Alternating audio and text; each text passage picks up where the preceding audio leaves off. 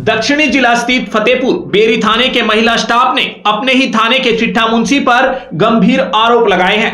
महिला स्टाफ का आरोप है कि मनपसंद ड्यूटी लगवाने के बदले थाने का चिट्ठा मुंशी शारीरिक संबंध बनाने का दबाव बनाता है। ऐसा न करने वाली महिला स्टाफ को परेशान करने के लिए, उनकी छुट्टी अस्वीकार करने के अलावा उनके साथ बदसलूकी की जाती है।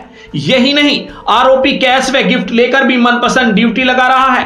थाने की महिला पुलिस कर्मियों ने एकजुट होकर दिल्ली पुलिस आयुक्त व विजिलेंस के विशेष आयुक्त को लिखित में शिकायत दी है। मामले को गंभीरता से लेते हुए जाँच के आदेश दिए गए हैं। जिला पुलिस आयुक्त चंदन चौधरी ने मामले की पुष्टि करते हुए विभागीय जाँच की बात की है। दिल्ली पुलिस आयुक्त को दी गई शिकायत में महिला स्टाफ ने आरोप लगाया है कि थाने में तैनात चिट्ठा मुंशी हवलदार है।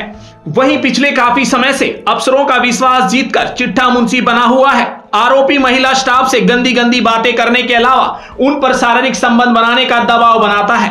वह खुलेआम कहता है, यदि उसकी बातें नहीं मानी गई तो ना तो छुट्टी मिलेगी और ड्यूटी भी ऐसी जगह लगाई जाएगी कि वह याद करेगी।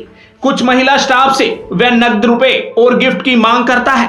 वरिष्ठ अधिकारियों से पहले भी इस संबंध में शिकायत दी जा चुकी है। मामले की जाँच को आरोपी ने अपने प्रभाव से हमेशा प्रभावित किया है। कभी भी जाँच सही नहीं होने दी। वह खुलेआम कहता है कि पुलिस महकमे में महिलाओं की नहीं चलने वाली पुलिस पुरुष प्रधान है।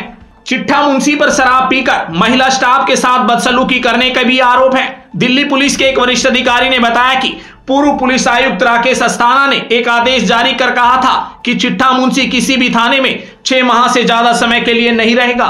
इसके अलावा एएसआई या उससे ऊँचे पद का अधिकारी ही चिट्ठा मुंशी तैनात किया जाएगा। यहाँ फतेहपुर, बेरी थाने में इस आदेश का खुलेआम उल्लंघन हो रहा था। पुलिस सूत्रों के अनुसार 19 सितंबर को दी गई शिकायत की विजिलेंस आयुक्त के अलावा जिला पुलिस आयुक्त भी जाँच कर रहे हैं। ब्यूरो रिपोर्ट, दिल्ली समाचार।